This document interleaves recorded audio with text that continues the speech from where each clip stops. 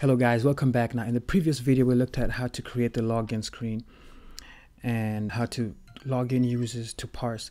Now in this one we're going to see how to send a user to the home page as soon as they're logged in. So I'm going to drag in a view controller as well. And I'm going to give it to make it smaller about four inches and then I will create a controller to control this a view controller so I will create a home page view controller, which is a UI view controller. And I will save it in there. And now uh, we have it up here. I'll just drag it down here. So we have the home view controller. We could uh, make it point to this to control this view, which is good so this view is controlled by it's good to check I'll get rid of these comments here. All right so what I want to do is as soon as the user logs in they're taken uh, to the home page. So how do I go about doing that? Well there's something called uh, there's a segue the, the previous segue that I showed you was where you drag an item you command and then you just drag it here and then you just release and then you choose show. So in this kind this type of segue the first place we're going to uh, need to click is the login view controller right here. I mean the the controller uh, object if you want.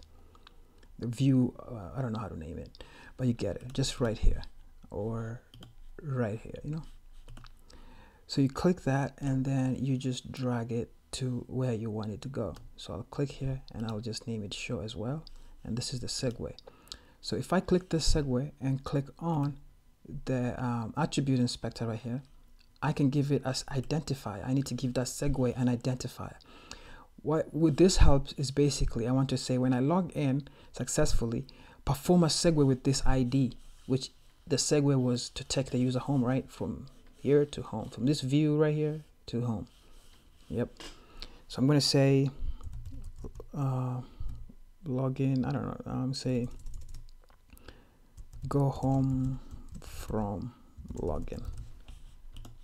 Just kind of an ID like that and click that copy that and then now we come to the login page. All right so the user has successfully logged in take the user home. So we want to do something called to perform a segue. So to do this we just say perform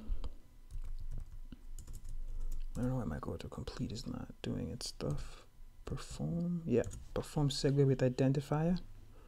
And the identifier is go home from login.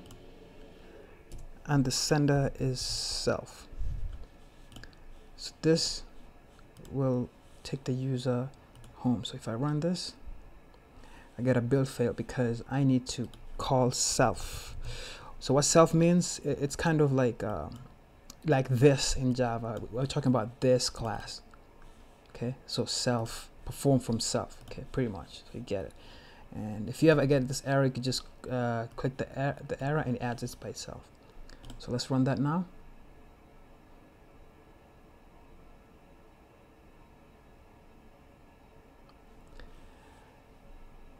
So we could log in Tony, which we have an account from previous tutorial and then log in. And as you can see we're back home to this blank page. That is cool.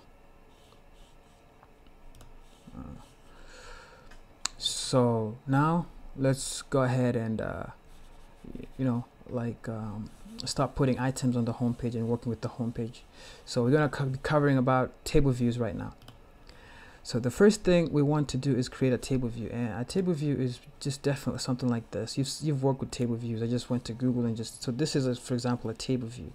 And how a table view works is this whole thing is an object. Each row is an object, an object. As you scroll, each row is an object, an object of items. All right. So for example, there's an image, there's a crow. So it can be like this. There's a, there's a, username and there's an image you know so this whole thing is an object that is an object in parse we've talked about this so you get the point so we're going to just be populating grabbing each object and grabbing its property and putting them in the right position, which we're going to do right now. So let's go ahead and uh, start working with the home page. The first thing we're going to need is a table view itself. So we're just going to type table view. Uh, you could use a table view controller instead of a UI view controller if you like. I prefer table uh, UI view controller. I don't know why, but and then now this is a table view that we're going to drag. As you can see, it's just going to be like uh, a list. So I'm going to position it at the center right there. And then now uh, this table, as you can see, is just blank. It's just a table view representation. I'm going to need a table view cell as well. A cell. So this represents a single row. Yep. Showing you a single row. So how we're going to want it to look like. So that represents that. So I'm going to expand it to my preferred height. I don't know, like uh, you know something like. Oh, I mean, we were making Instagram, so uh, the image is about you know maybe 250, and then uh, 270 sounds good. Big image and the text. That looks pretty good. That's like one item, one image, for example, and the text at the bottom. So this is where it's going to be so now after doing this, we're going to, we have a cell.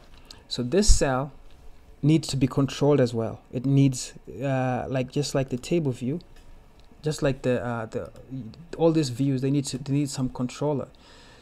So we are going to need to create a file to control the cell by itself. The table view, well, the table view, we're going to do something with it that will make it be controlled by the uh, home homepage controller. So I'll show you in a, in a second. But for now, let's go ahead and create a file to control this single cell or a single row or a single object in that matter if you already know what I'm talking about. So click next and then this one instead of a UI view controller you click that and then there's a UI table view cell. Okay so this is a single cell and what I want to call it is uh, single row cell something like that Swift, click next, and then save it in there.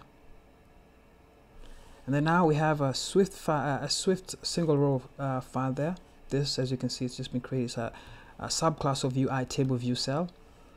So now let's go ahead and connect this. So right now, I mean, it doesn't connect, so we need to connect it, make a connection, and we do the same. We come here to uh, uh identity inspector, UI uh, table view cell, the class here that will control it. We just click it, and you see single row cell is available. We click that, and now this are connected now we have a cell a cell so let's start putting stuff on that cell that will we want to display we want an image view right what do we want yes an image view then put it we don't want a label right? We want an image view here at the top.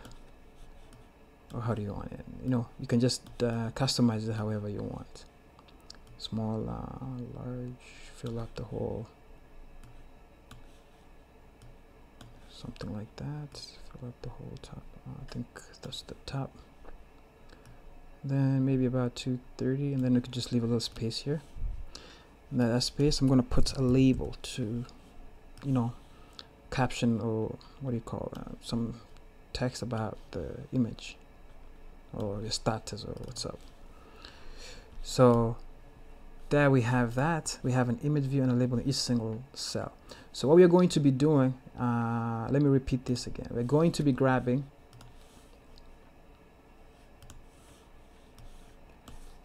the, as you can see this is a this this are just currently users for example I can say Tony the username is going to be here. And if the, uh, there was an image it's going to be here for that user. But for now we're going to be creating uh, status or a post objects in parse and we're going to be populating them here.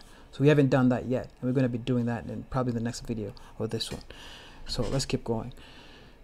Now the first thing that you want to do is click this okay the item that you've put in the row in the cell and then drag it here so that we give it an identity so that we can start populating it so I'll give this uh, uh, Swiftagram something, you know, Swiftagram image view or image image view, yeah,